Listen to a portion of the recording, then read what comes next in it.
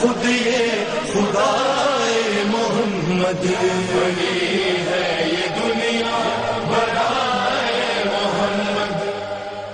آپ مولانا علی انور جعفری صاحب ہمارے ساتھ پاکستان کے شہر کراچی سے موجود ہیں۔ آپ کو پروگرام میں خوش آمدید کہیں گے اور آپ کی خدمت میں سلام عرض کریں گے۔ علیکم السلام ورحمۃ اللہ۔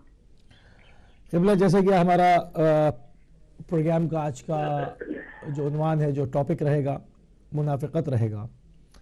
میں چاہوں گا کہ اس کی عزور قرآن کیا تفسیر ہے، یہ کن کن معنوں میں استعمال ہوا اور جہاں پر ہم دیکھتے ہیں کہ منافقین کے اوپر زیادہ عذاب کی نوید سنائی گئی ہے ایسا کیوں ہے؟ کفار سے زیادہ منافقین پر عذاب کی جو ہے وہ آیات کیوں ہیں؟ اس کی وجہ کیا ہے؟ اعوذ باللہ من الشیطان الرجیم، بسم اللہ الرحمن الرحیم، الحمد للہ والصلاة علیہ اما بعد۔ بسم اللہ الرحمن الرحیم، اذا جاءک المنافقون جو آپ نے خبر پوچھا میں سمجھتا ہوں آج کی جو دور چل رہے دور کے لحاظ سے یہ موضوع انتہائی معتبر ہے کیسے بات کی جائے۔ قرآن کریم نے منافقین کے موضوع پر اس طرح صلاح سے متوی کہ پورا ایک سورہ ان کی مذمت میں نازل فرمایا جس میں منافقین کی خصلتوں ان کی عادتوں ان کی تیورات کو بیان کیا۔ منافق دراصل اس کہتے اس کو ہے کہ آپ دل میں کچھ رکھیں اور آپ کی زبان پر کچھ ہو۔ تو لہذا پروردگار عالم نے اس امر کو انتہائی نامناسب قرار دیا اور ایسے لوگوں کے لیے کیونکہ رسول اکرم کی جب لوگ ایمان لے آئے تھے، تو اللہ تاریخ کو لکھا واقعہ ہے کہ وہ ایمان تو لے آئے تھے، لیکن ان کے ہاتھوں کے اندر بت چھوٹے چھوٹے بت ہوتے تھے۔ تو رسول اکرم نے کہا، ہاتھ کھول کے نماز پڑھو تاکہ بت جل جائے یعنی وہ اپنے عمل سے آ رہی نہیں زبان سے رسول کے ساتھ رہے تھے۔ تو اس تعداد کو بڑھتا ہوا منافقین کے نام سے نازل فرمایا گیا اور اس کی مذمت اس لیے زیادہ ہے کہ منافقت یہاں سے مر گئی تھی کہ مسلمانوں نے ایک مسجد قائم کی۔ قرآن قرآن رواز اللہ و کفرا بین المؤمنین۔ کہ مسجد جو مسجد بنائی گئی ہے مجھے ضرار ہے، یہ کفر ہے۔ کیوں؟ اس لیے کہ یہ مومنین کے درمیان کم فی اللہ تقم فی عبادہ تو مسجد میں کھڑے مت کھڑے مت ہونا۔ کیوں؟ اس لیے کہ مسجد جو ہے وہ مسجد نبی کے مقابلے بنائی گئی۔ یعنی خدا نے ایک فارمولہ سیٹ کر دیا کہ جو چیز خدا کے مقابل پر آئے یا خدا کی بنائی ہوئی چیز آئے وہ یا تو منافقت ہوتی ہے یا منافق کی بنائی ہوئی چیز ہوتی ہے۔ منافق کی مطلب اس لیے زیادہ ہے کہ منافق جو کافر ہے وہ کافر تو کھلا ہوا آپ کے سامنے ہے موجود ہے کھڑا ہوا ہے لیکن جو منافق ہے وہ دل کے اندر اپنے دوست کو رکھتا ہے اور وقت آنے پر اس دوست کو ظاہر کرتا ہے۔ ہم اسی لیے دیکھتے ہیں کہ رسول اکرم کی حضرت کے بعد جو منافقوں کا ٹولہ تھا، اس نے رسالت کے بعد رسول اکرم کے سالوں کے بعد دنیا سے جانے کے بعد خلافت خلافت الہی کو تسلیم کرنے سے انکار کیا، جس کو وہ غدیر میں انکار، غدیر میں جس کو مان چکا تھا۔ تو یعنی ماننے کے بعد انکار کرنا کہ ان کے دل میں پلنے والی منافقت تھی اور کیوں کیوں کیوں انکار کیا؟ کیونکہ زمانہ رسول اکرم میں اصحاب کے ان صحابہ کے اصحاب النار فی المنافقین و ذکر علی ابن ابی طالب ہم اصحاب کہتے تھے جب ہم نے کوئی پہچاننا ہوتا تھا کہ ہم نے کوئی منافق ہے ہم اس ابدی بغم کے اندر ذکر علی ابن ابی طالب کے سبحان اللہ سبحان جس کے ذریعے سے ہم منافق کو پہچان لیتے پہچان لیا تو یعنی یہ کسوٹی طے پا گئی کہ زمانہ رسول اکرم کے زمانے سے کسوٹی طے کیونکہ اصحاب جو کرے رسول اسلام کو منع نہیں کیا۔ اور اصحاب جو کرے، اصحاب کی عزت، اصحاب کی جوتیاں ہمارے سروں پر، ہم اصحاب کے ماننے والے، اصحاب رسول کی عزت کرنے والے، اصحاب جو کام انجام دے، وہ مالی سنت بن جاتا ہے۔ تو لہذا آج دنیا کے سامنے بھی کرسوٹی بدل گئی کہ جہاں ذکر علی ابن ابی طالب ہو رہا ہو، اگر کسی کی تیور بدل رہی ہو، اگر کسی کا رخ بدل رہا ہو، تو سمجھو منافقت ہے۔ تو لہذا آج جس دور میں اور آپ زندگی بسر کر رہے ہیں، منافقت کی آپ انتہا دیکھیں۔ کہ منافقت یہاں تک آ پہنچی کہ جب جب شام میں نوے ممالک کے لوگ بھیجے گئے اور وہاں سے لوگ ہٹانے کی بات کی کوئی نہیں بولا سب خاموش تھے۔ یمن میں جب گھس کے حوثیوں پر حملہ کیا گیا، سب خاموش تھے۔ یمن کے اسٹور سے فائرنگ کی جاتی ہے، کوئی بولنے کو تیار نہیں۔ اور آج حلت کے نام پر جو واضح مچایا جا رہا ہے، جو آہو کیا جا رہا ہے، جس کا جس کا کل آپ نے معرضہ دیکھا کہ روسی امبیسڈر کو ترکی کے اندر بڑے بڑی محفل میں مار دیا گیا۔ اور مار دینے کے بعد پینتالیس سیکنڈ تک کوئی شخص کھڑا ہوا، نعرے لگاتا رہا کوئی اس کو روکنے والا تھا۔ چاہیے یہ تھا کہ اس کو گرفتار کیا جائے پوچھا جاتا اس کے پیچھے ہاتھ کس کا لگا اس کو مار دیا گیا؟ مارنے کا مقصد یہ ہے کہ آپ اس کی شواہد کو مٹا دیں۔ تو لہٰذا آج منافقت اپنے عروج پر ہے۔ جب عراق میں گلے کاٹے جا رہے تھے جب عراق میں لوگوں کو مارا جا رہا تھا شیعہ شیعہ سنی کا مسئلہ نہیں ہے کہیں بھی۔ عراق میں جب لوگوں کو مارا جا رہا تھا سنی کوئی مارا جا رہا تھا شیعہ کوئی مارا جا رہا تھا تو اس وقت یہ لوگ کہاں تھے جو آج حلب کے معاملے کو شروع کر رہے ہیں؟ حلب میں حلب میں دشمن کیا چاہتا ہے؟ دشمن چاہتا یہ ہے دشمن عجیب دشمن خدا چاہتا ہے کہ ان کو صاف راستہ دیا جائے تاکہ وہ دوسرے والوں میں لگے دہشت گردی کر سکیں۔ لیکن جو کچھ انہوں نے شام میں کی ہے اس پر بولنے کے لیے کوئی آمادہ نہیں ہے۔ آج یمن میں جو کچھ وہ کر رہے ہیں اس پر بات کرنے کے لیے کوئی آمادہ نہیں ہے۔ بحرین میں جو کچھ ہو رہا ہے کہ وہاں وہ بانوے فیصد لوگ جو ہیں وہ وہ معمول بنے ہوئے ہیں۔ آٹھ فیصد لوگ حاکم ہیں۔ تو یہ کون سا انصاف کا کی آپ حمایت کریں یہ کھلی منافقت ہے جس کے لیے اسی اس اور اس منافقت کی وجہ سے آج دنیا اسلام تقسیم ہو رہی ہے آج مسلمان تقسیم ہو رہا ہے آج مسلمانوں کو گروہوں میں تفریقوں میں بانٹا جا رہا ہے اسی لیے فرمایا گیا قرآن نے لمن حمد ذرا کے بارے میں لمن ارصاد لمن حرم اللہ یہ حرم اللہ کو بچانے کے لیے بنائی جا رہی ہے کہ رسی کو مضبوطی توڑنے کے لیے بنائی ہے تو لہذا یہ ہمارا طے ہے کہ کوئی بھی نام جو حرمین کے نام پر کیا جائے یا خدا کے نام پر کیا جائے یا حلق کے نام پر کیا جائے اگر اس میں بغض ہے اس میں اگر کوئی مشکل ہے تو وہ مناسبت ہے جیسے ہو رہی ہے۔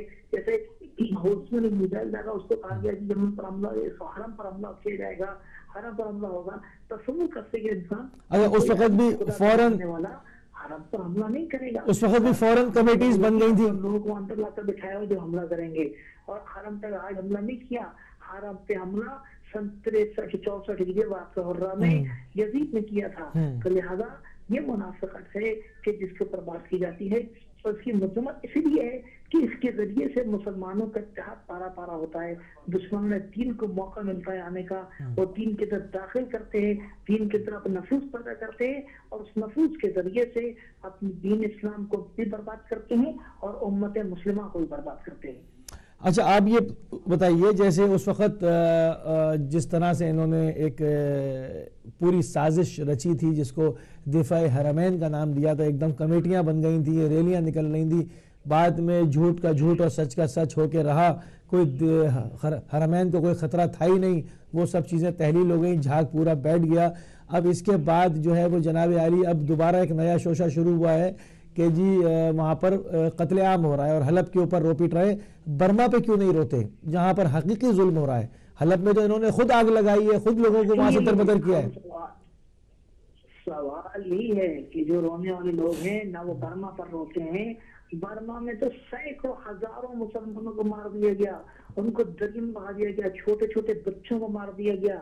آج اس پر بات کرنے والا کوئی نہیں۔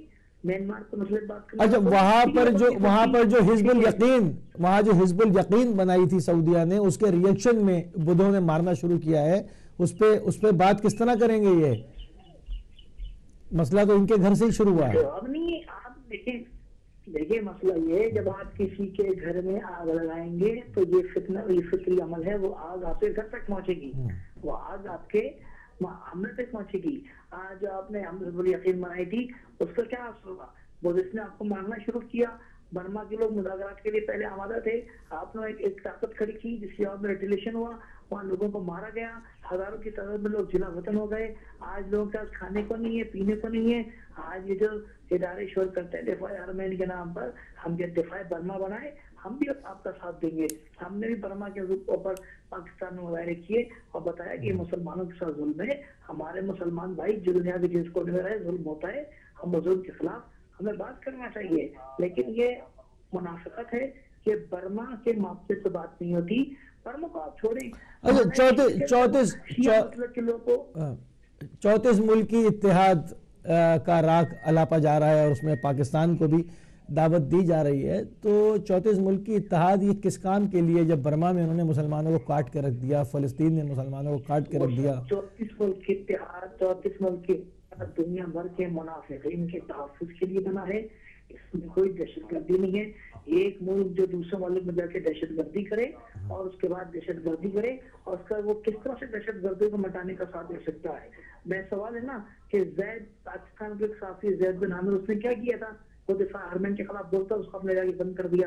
شاید وہ لوگ ایسے ہیں جو آج پاکستان کے لوگ ہزاروں پاکستانی جیلوں کے اندر پڑے ان کا کوئی پوچھنے والا نہیں ہے۔ دو ہزار پاکستانی وہاں پھنسے رہے کوئی پوچھنے والا نہیں ہے تو اس کا مقصد یہ ہے کہ ان کے کو دنیا کو ڈھونگ مچایا جا رہا ہے کہ جس طرح آپ کو یاد ہوگا بوسنیا میں یو این او فورسز بن کر آئی تھی کہ ہم امن دیں گے لیکن وہی یو این او فورسز کے لوگوں نے بوسنیا اور ہرزگوینہ کے لوگوں کا بیان کیا اور بوسنیا کی ریاست کو تین ٹکڑوں بات کر مسلمانوں کو کے یہی کام یہ چونتیس ملک کے اتحاد کے ذریعے سے کروانا چاہتے ہیں۔ تو ابھی آپ کیا صورتحال دیکھ رہے ہیں؟ فی الحال پاکستان کی اگر ہم بات کریں اور جہاں پر آپ موجود ہیں صوبہ سندھ میں کراچی میں کہ وہاں پر میں نے دیکھا کہ سوشل میڈیا کے ذریعے کہ بینر لگے ہوئے تھے کہ جی پریس کلب سے ایک ریلی نکلے گی تو ایک سفاری پارک سے جو ہے وہ ریلی نکلے گی۔ یہ ریالوں کی بارش ہو رہی ہے اس وجہ سے سب کچھ ہو رہا ہے یہ کب تک چلے گا؟ دیکھیے میں لیکن یہ جھاگ ہوتا ہے۔ آپ کو یاد ہوگا جب دوپہر میں بنی تھی اسی طرح سے ریلیاں نکلی تھی اور جھاگ تھا بیٹھ گیا۔ کیا بھائی یہ جھاگ بھی اسی طرح سے انشاءاللہ بیٹھ جائے گا۔ دنیا میں حق کو فتح مل رہی ہے۔ دنیا میں حق سامنے آ رہا ہے۔ دنیا میں منافقوں کی شکست کا شکست کے یہ ایام ہے اور یہ ایام جاری رہیں گے اور یہ سب تک جاری رہیں گے۔ جب تک مظلومی جہان میدان کے اندر ڈٹے رہیں گے میدان میں کھڑے رہیں گے اور الحمدللہ میدان کے اندر پاکستان کے شام و لبنان تک عراق تک الجزائر تک مظلوم جہان موجود ہیں اور وہ اپنے حق کا دفاع کرنے کے لیے ہر حال میں موجود رہیں گے ہر حال میں موجود رہیں گے انشاءاللہ۔ جو بھی ابھی ہماری میں ایک بات اور عرض کر دوں یہاں ایک بات اور عرض کر دوں۔ اسی معاملے کو دیکھتے ہوئے ہم نے یہاں پچیس دسمبر کو سندھ کے شہر حیدرآباد میں لبیک یا رسول اللہ کانفرنس کا انعقاد کیا ہے، جس میں عاشقان رسول ایک بڑی تعداد میں شریک ہوں گے اور شریک ہو کر بتائیں گے کہ کل بھی رسالت پر وقت پڑا تھا، تو ہمارے اجداد نے ناموس رسالت کی حفاظت کی تھی، دوبارہ وقت پڑا تھا۔ پھر کوئی نہیں بولا تھا، کوئی خادم حرمین نہیں بولا تھا، ایک ہی وہ بولا تھا جس کے اندر ابو طالب کا خون دوڑتا تھا۔ آج یہ وقت پڑے گا تو یہ غلام ابو طالب پاسبان حرم کے لیے سب سے آگے آئیں گے اور پاسبان رسالت کے لیے بھی میدان عمل کے اندر نظر آئیں گے۔ انشاءاللہ انشاءاللہ۔ جو بھی ہماری آپ سے قبلہ گفتگو ہوئی ہے، اس کا نچوڑ اگر نکالا جائے تو لگتا یہی ہے کہ سب سے زیادہ دین کو نقصان پہنچانے والے یہ منافقین ہیں، جو کہ بظاہر اسلام کے لبادے میں ہیں، مگر سب سے بڑے اسلام کے دشمن ہیں۔ چوتیس ملک کی اتحاد کی بات ہوئی، ان تمام کی تمام لوگوں کی بات ہوئی۔ یہ تمام قوت مجتمع کر کے بھی دشمنوں کی طرف ایک گولی نہیں چلاتے، اپنے ہی لوگوں کو پارا پارا کرتے ہیں۔ کیا یہی وجہ ہے کہ قرآن کے اندر جا بجا منافقین کے لیے شدید عذاب کی نبی سنائی گئی ہے؟ یہی منافق ہے نا، یہ چوتیس ملک کی اتحاد کرنا افضل کی آزادی کی بات کیوں نہیں کرتا؟ یہ چوتیس ملک کی اتحاد موصل کی آزادی کی بات کیوں نہیں کرتا۔ یہ چوتیس ملک کی اتحاد اور جگہ ایریا میں آزادی کی بات کیوں نہیں کرتا۔ تو لہٰذا مناسبت واضح ہے تو کیوں کرے گا؟ اس لیے کہ ان کی ماپا بنائے گئے ہیں ان کو پیسے دینے کے لیے بنائے گئے ہیں۔ تو منافقین چاہے آج کے ہوں چاہے زمانے رسالت کے ہوں جو بھی منافقین ہیں یعنی یقیناً اسی وجہ سے منافقین کے لیے زیادہ شدید آیات قرآن میں نازل ہوئی ہیں۔ کیا کہتے ہیں آپ؟ جی۔ جی اسی وجہ سے کیونکہ منافق منافقت ایک ایسا فتنہ ہے جس نے اسلام کی جڑوں کو کھوکھلا کیا ہے۔ جب تک اس کی کوئی پودا لگایا جائے اس کی جڑ کو کھوکھلا کیا جائے گا تو وہ کیڑا زیادہ خطرناک ہوتا ہے۔ منافقت وہ کیڑے کا نام ہے جس نے اسلام کی جڑوں کو کھوکھلا کر دیا ہے اور کھوکھلا کرنے کے بعد اب اس کو مٹانا چاہتا ہے۔ لیکن کل بھی منافقت ناکام ہوئی تھی آج بھی منافقت ناکام ہے کل بھی منافقت ناکام رہے گی۔ اور منافقت کی ناکامی کا نسخہ میں نے آپ کو بتا دیا جب خاص رسول ہم کو دیا کہ علی ابن ابی طالب کا ذکر کرو جو تم میں سے جس کا چہرہ اترتا ہوا نظر آیا جو پریشان نظر آئے وہ منافق ہے۔ لہٰذا اسی لیے دیکھیں کہ اسلامی ایران کے خلاف سازش ہوتی ہے الجوزان کے خلاف سازش ہوتی ہے کبھی اللہ کے خلاف سازش ہوتی ہے کبھی اسی طرح کی نماز خلاف سازش ہوتی ہے۔ اور یہ بتا دیے کہ مناسب اور راستہ اس دنیا میں اگر وہ روک سکتا ہے غلام نہیں روک سکتے ہیں یہ نبی کا غلام روک سکتے ہیں۔ بہت شکریہ بہت شکریہ۔ جزاک اللہ، قبلہ آپ نے ہمیں اپنا قیمتی وقت دیا۔ ہم آپ کے بہت مشہور اور ممنون ہیں۔ ناظرین، آپ سن رہے تھے کراچی سے پاکستان سے رہنما ایم ڈبلیو ایم جناب سید علی انور جعفری صاحب کو آپ نے جو ہے وہ بہترین گفتگو فرمائی، بہت عمدہ جو ہے نکات ناظرین کے سامنے پیش کیے۔ اس چوتیس ملک کی اتحاد کی منافقت کا بھی پردہ چاک کیا، جو دفاع حرمین کی ریلیاں بنی تھیں، ان کا کیا حشر ہوا۔ وہ بھی سب ختم ہو گئی جھوٹ جھوٹ ہوتا ہے اور سچ سچ ہو کر رہتا ہے اور اب یہ جو حلب پہ ماتم ہو رہا ہے، یہ بھی کتنے دن وہاں چلے گا، ہم بھی دیکھتے ہیں۔ کیونکہ انہوں نے ہی حلب کو جلایا تھا۔ اس کے بعد یہ کہ حلب جل حلب جل ایک نعرہ لگایا۔ نہیں بولتے تو برما پہ نہیں بولتے نہیں بولتے تو فلسطین پہ نہیں بولتے۔ مسلمانوں کی جہاں پر حقیقی مصیبت ہے، اس کو نہیں بولتے۔ اور جب فراغ دلی پہ آ جائیں صاحب، جہاں پر بالکل دریا دل ہو جائیں تو کیا کرتے ہیں؟ گجرات کے قصائی کو، مودی کو سب سے بڑا اپنے وطن کا میڈل دے دیتے ہیں۔